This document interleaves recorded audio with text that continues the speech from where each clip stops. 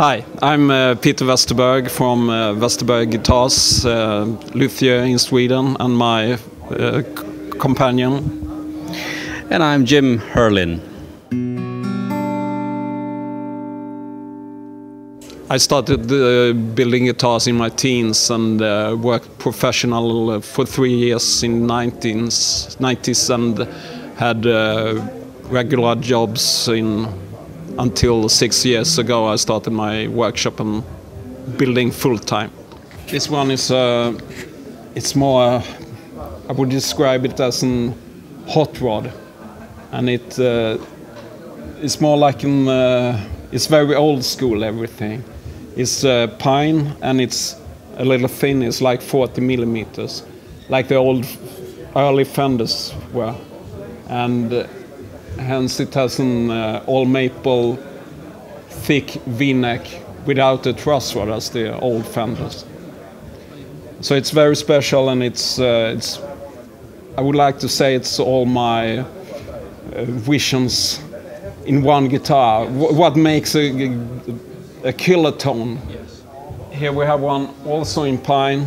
It's more traditional with a truss rod and. Uh, it's P90 is made by a Swedish guy called uh, Seven Engineering, who makes uh, hand wound, only made for uh, custom.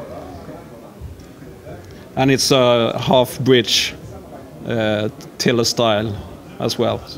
Also pine, also a little thinner. What do you price these?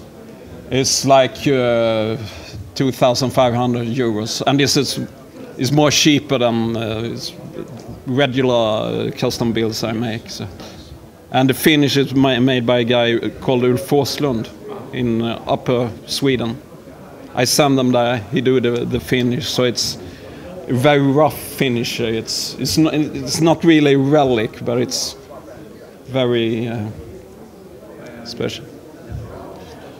And it's the same with this one. It's a Strat he also has done.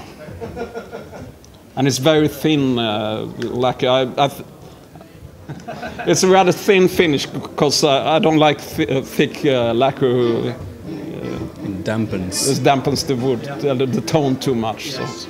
Do you do nitro or? Yeah, nitro, but uh, this one is not nitro. It's uh, shellac. Uh, but I do nit just nitro, no plastic lacquers at all and uh, this one has an old style. It's like you've seen on 50s guitars. It's, I found very expensive new old stock in uh, USA. I just had to had it. this is my brainchild, so to say. Um, it's a work in progress. Uh, I started working for Peter uh, in order to, uh, what to say, do some repairs and uh, give him some more time to build guitars. And then I just decided that I would like to uh, build a guitar that I doesn't dislike. I'm I've been playing bluegrass all time, finger picking style, mainly acoustic. So I had some what to say uh, visions yeah, and also I had some. I, I disliked electric guitars, but uh, I can repair them, but uh, I I don't really like them. So I started uh, thinking how I could make a guitar that I doesn't dislike, and uh, this one turned out, and it's uh, yeah I used the Telecaster shape since we had uh, the shape what to say prepared. Yeah. And it's uh, easy to make uh, when Peter is already building Telecasters, so all the parts are in the shop.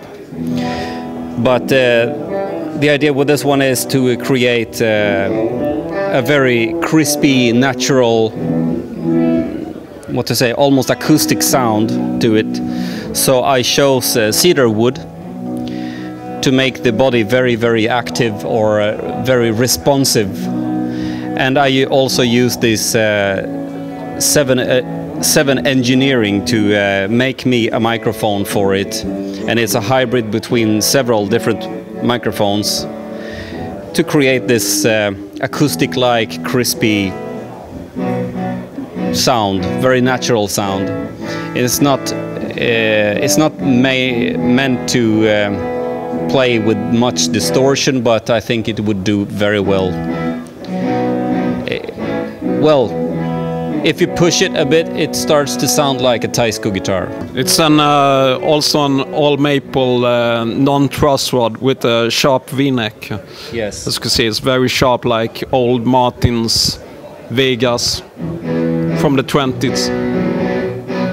And it's very light. It's cedar, red cedar, so it's uh, half the weight of a regular Telecaster body. I think the body measured like 1.3 kilos Yeah. before we attached all the parts. Thank you for your time. And uh, if you want to know more, check out Westerberg Guitars on Facebook or Instagram or uh, our webpage, westerbergguitars.com. Okay, thank you. Thank you.